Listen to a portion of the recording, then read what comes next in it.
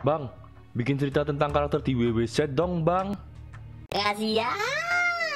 Oke guys, Jackson Fernandez meminta saya untuk menerangkan dan menjelaskan tentang karakter-karakter yang ada di World War Z. Dan memang sebenarnya ada sebuah fitur di World War Z yaitu namanya Collection.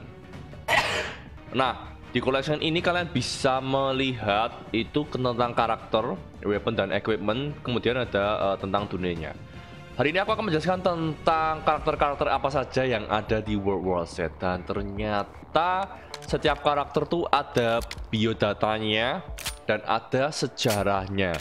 Cuman ternyata untuk mendapatkan backstory yang ada di sini ya, yang ada di sini itu kita harus uh, menggunakan setidaknya satu kali uh, bermain World War Z dan uh, sayangnya aku uh, hanya menggunakan satu karakter di satu episode. Ya jadi aku tidak berganti-ganti karakter.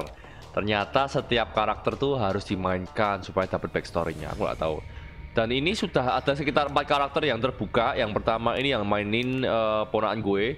Kemudian ini yang episode 3 ya uh, yang videonya akan aku segera upload. Oke okay, aku akan menjelaskan tentang karakter yang pertama adalah Jude Whittaker as the New York Times top photojournalist, Jude was covering the refugee movement toward Jerusalem. When the huge horde got over the city wall, Jude barely escaped on an army helicopter. He centered his camera for a rifle. Ya, yeah. ternyata Jude Whittaker itu seorang fotojurnalis ya dan dia me, apa namanya uh, barter ya membarter uh, kameranya jadi senjata. ya namanya kalau melawan zombie itu kamera sudah nggak bisa digunain bro ya. Kita punya senjata ya, pedang, kapal atau tembakan. Kecuali kamu mainnya uh, game setan apa tuh namanya Fatal Frame, nah, itu kalian butuhnya kamera. Kalau senjata tembus setannya ya. Oke, yang kedua adalah namanya adalah Dina Misrahi ya. Ini juga seorang uh, dari negara Yerusalem mungkin ya Dina's father was an architect and it was her intention to join the family business. She was serving her time in the Israel Defense Force when the Great Panic began. The apocalypse need a fighters more than it need architects. Ya. Yeah. Kalau yang tadi uh, seorang fotojurnalis, kalau ini seorang arsitek dan sekarang dia uh, bergabung di di Israeli Defense Force. Ya. Uh, Apocalypse atau kiamat itu membutuhkan uh, petarung ya, bukan seorang arsitek. Dan di sini ada backstory-nya, kita akan coba lihat backstory-nya seperti apa. My earliest memory oh, is war. Wow. It was a conflict so complex that it could never be resolved. Oh my god. Tangannya tugel.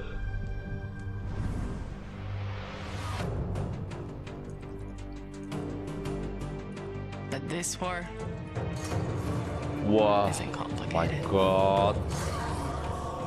Wah, dapat jadi zombie semua ya. Zombie itu kayak parasit sih. Kalau satu mati, yang lainnya ikut mati. Ya, jadi kalau ada yang dibunuh jadi zombie, yang yang mati jadi zombie gitu. Wah, wah ayahnya jadi zombie guys. Oh my god. But a kill is a kill. But a kill is a kill. Wow. wow ya. Terjadi di uh, rumahnya si Dina ya. Dina membunuh ayah si Dina sudah menjadi zombie. Jadi zombie itu seperti parasit guys. Kalau ada satu orang dibunuh ya dia yang dibunuh, yang terbunuh akan jadi zombie. Dan semakin banyak dibunuh akan semakin banyak zombie. Jadi seperti parasit ya. Ya bertambah banyak bertambah banyak dan tidak akan pernah habis. Yang kedua adalah Ethan Wolf with uh, uh, six, six, with a 16 years in the British SAS. Ethan retired with the Gallantry Cross and Military Cross. He was hired by Mossad to advise on special ops and was on a training base in the Negev when he when the infected stormed Jerusalem. Ya Ethan Wolf. Dan sayangnya aku belum main jadi kita nggak tahu backstorynya. Oke okay, yang selanjutnya adalah Daniel Alhey a child of 1977 Beta Israel movement. Daniel had an Ethiopian father and Israel mother. Wah, saat ayahnya itu Ethiopia, uh, ibunya Israel. After after IDF service, he start a family. When the virus took his wife and son, Daniel dedicated his life to fighting for humanity. Istrinya dan anaknya, bro, jadi zombie ya. Gila. Oke okay guys, yang selanjutnya adalah Angel Flores ya. Dia uh, berada di New York ya, tapi aku sedangkan dulu mainnya yang Bunko Tatsumi. Oke, okay, kita akan coba menelaah apa yang terjadi pada Angel Flores. Angel was a high-ranking member of Latin Kings gang and a transit tunnel maintenance worker.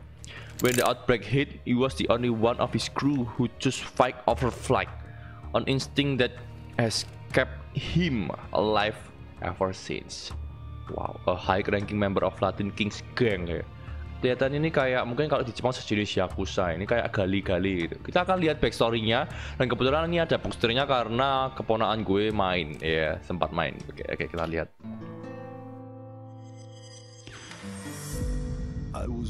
Into this life. Wow. I suffered for it. What? And reaped the rewards. I could tell you that I didn't want it. That I tried to get out. come back. I got no reason to lie anymore. Wah, ini.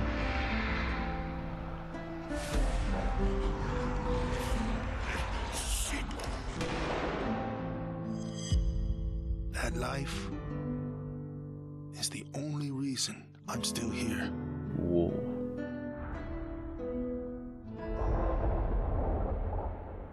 What? what? Oke, okay, itu adalah Angel Forest. Yang kemudian adalah Tassaun Burnol. Tassaun was an NYC firefighter. He survived the September 11 attacks but was plagued with the survivor guilt and post-traumatic stress disorder. For Tassaun, the Great Panic felt more like a change of scenery than catalysm. The Sound ini seorang firefighter atau pemadam kebakaran ya. The Sound, oke. Okay. Yang kemudian adalah Bunko Tatsume ya. Ini gue udah main. A skilled hacker. Oh, hacker ternyata. In the weeks before the outbreak, Bunko infiltrated the Department of Defense's computer network and detected sign of the incoming disaster before it was made public. This advantage gave her time to prepare. Jadi sebelum kejadian yang menimpa dia yang ada di New York, dia tuh sudah me, apa namanya infiltrate ya atau mungkin menghack komputer network dan mendeteksi adanya uh, ini disaster ya, adanya musibah ini. Makanya dia tuh tidak uh, sekaget orang-orang biasa karena dia uh, sudah bisa bersiap-siap dahulu sebelum apa namanya kejadian itu berlangsung. Kita akan lihat backstory-nya karena aku sudah main menggunakan Bungo Tatsumi. Oke, okay, let's go. To all my classmates who alienated me because I was different. To anyone who never gave me a chance. To the people who ignored me while I hid behind zeros and ones. Thank you.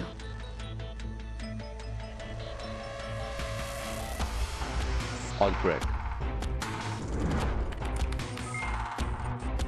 Wah, ini dia. Dia menghack komputer network. You, I would never have made it this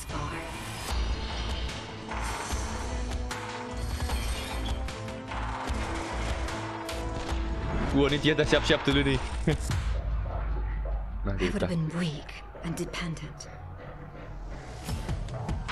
I would have ended up just like you. What's up? ya, Bunko Tatsumi. Yang kemudian adalah Arneta Larkin. Arneta worked as the power distribution engineer in Network City.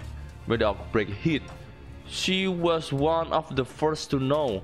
She was separated from her husband and baby in the panic but still holds hope that they're all alive somewhere. Ya, Uh, Arnetta seorang engineer di Network City ya, kota Network. Dan ketika outbreak hit, dia adalah uh, yang pertama kali tahu dan kemudian dia terpisah dari suami dan anaknya dan tapi dia masih percaya bahwa anak dan suaminya masih hidup di suatu tempat. Wow. Kekuatan kepercayaan. Kemudian adalah Oksana Orlovskaya. Ini ada di Moskow yang kebetulan gue belum upload dan gue akan segera upload, oke? Okay? As a child, Oksana dreamed of becoming a doctor and healing the sick. The outbreak put an end to that. She met father Popov in the abandoned city and saw hope in his mission. She no longer seek to cure, only to release. Oksana uh, mimpi untuk menjadi seorang dokter dan menyembuhkan penyakit. Dan kita bisa lihat backstory-nya kita akan lihat bersama-sama. What? I was never afraid of Cachet the Deathless. What is? I laughed at the fairy tale of this uh, fairy tale. phantom. A woman of science would never fear such silliness. Biasa. But what? What do we know? What?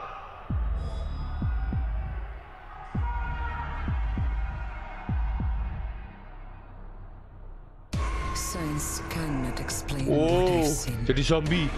And in the face of such horror, there is no logic.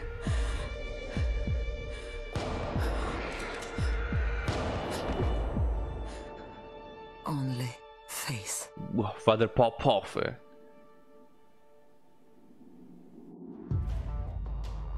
Father Popov. Oke, itu tentang Oksana Orlovskaya ya, agak susah bacanya ya. Yang kemudian adalah Ivan Dovsenko ya, bukan Shevchenko ya. Shevchenko itu pemain sepak bola. Nickname The Tiger. Wow. Ivan was a respected defense lawyer in Kiev before the war. He wore custom seats and drove a German sport car. During the Great Panic, he realized his money was useless and focused his ambition on survival. Dia menyadari bahwa uang itu sudah tidak berguna ya, yang untuk lawan zombie sudah nggak berguna dan dia fokus ambisinya untuk uh, bertahan hidup supaya nggak kecokot zombie. Yang benar adalah Timur Yuskevik, namanya Timur ya. Nanti kalau gue menyana namanya Barat. Ya. While studying political science, Timur lost faith in the system and dropped out He joined an anarchist movement and was soon labeled as Agilator. Timur was well versed in avoiding detection by the time Moscow fell. What? Timur mempelajari political science ya dan dia kehilangan uh, faith in the system and drop out ya. Timur ya. agak anarki juga sih kelihatannya nih orangnya nih. Sergei Popov. Sergei Popov tuh yang menyelamatkan ini ya Oksana Olovskaya. Wow, keren juga ya. Ini kalau dibuat apa namanya ceritanya apa namanya filmnya sebenarnya keren sih karena filmnya kelihatannya lebih fokus ke Brad Pitt-nya ya. Aku lupa sih udah lama soalnya mainnya. Ya kita lihat. As an enforcer in the Russian underworld, Sergei Popov was as legendary for his strength as for his wanton brutality. Wow. After a moment of crippling guilt and sudden epiphany, Sergei first course to the path of victoriness. His only purpose now is to protect the living and to free the dead. Sergei Popov dan kebetulan gue belum main, oke? Okay? Ah, gue nggak bisa lihat backstorynya. Sorry guys. So Sugiyama. So always knew his life would be dedicated to saving others. At 19, he enlisted in the Coast Guard. When the Great East Japan earthquake struck, he joined the disaster rescue team to, to save the survivor. But when the outbreak hit, so knew it was different. The only survivor would be those who left. So Sugiyama. Dan kebetulan gue belum main yang Tokyo, jadi belum kebuka backstory-nya guys. Oke. Okay. Kimiko Nomura. Ever since she held a starter pistol as a child, Kimiko was hooked. She parlayed her talent as a skier into career as an Olympic biathlete just so she could learn to shoot. When the zombie plague turned Japan into a panic evacuation zone, Kimiko's talent became a highly valued survival skill. Wah. Dari kecil si Kimiko ini sudah megang pistol dan dia memiliki talent uh, di Olympic Biathlete dan sekarang uh, kemampuannya atau talentnya itu sangat diperlukan dalam pertahanan. Wah, Kimiko. Yang ketiga adalah Tatsuo Matsumoto. Tatsuo's intensity as a cop was reflected in his advanced riot unit, special assault, and special investigation. All by 34 Success came at a cost. By 43, he left his wife and slung into a bottle. When Japan evacuated, he volunteered his life to earn, to earn a gun and I think distract him from his own demons. Yang keempat adalah Hiroshi Okada. At 20, 20 Hiroshi was the youngest Yakuza in Tokyo. Wow. At 25 when his father sent him to America to avoid shaming his family. He became the youngest Yakuza in LA. What? The horror of the outbreak sparked a dormant sense of loyalty in Hiroshi. When everyone else was leaving, he went home to help. Wow, yang lainnya uh, berusaha untuk minggat, ya, untuk menyelamatkan diri, tapi dia malah pulang rumah untuk menolong. Wow. Hey guys, itu adalah penjelasan-penjelasan tentang karakter yang ada di World War Z. Mungkin uh, next aku akan menjelaskan lagi ketika ada backstory-nya ya. Karena kebetulan uh, aku belum main semuanya, baru empat yang kebuka ya. Aku nggak tahu ternyata uh, kalau kita main ke apa nama unlock backstory-nya dan ternyata gue nggak tahu. Oke okay guys, mungkin sekian untuk uh, video kali ini tentang penjelasan karakter di World War Z. Mungkin akan ada part 2 ketika aku sudah menyelesaikan backstory backstory-nya guys. Terima kasih sudah menemani saya. Semoga kalian tahu mengenai karakter-karakter yang ada di World Z dan ya sedikit tahu mungkin ya karena belum ada backstory-nya tapi penjelasannya kurang komplit. Terima kasih sudah menemani saya di video kali ini. Uh, stay tune terus di kelasku Yoyo. Jangan lupa untuk makan dan minum, jaga kesehatan, olahraga, and I'll see you guys on my next video. Bye bye.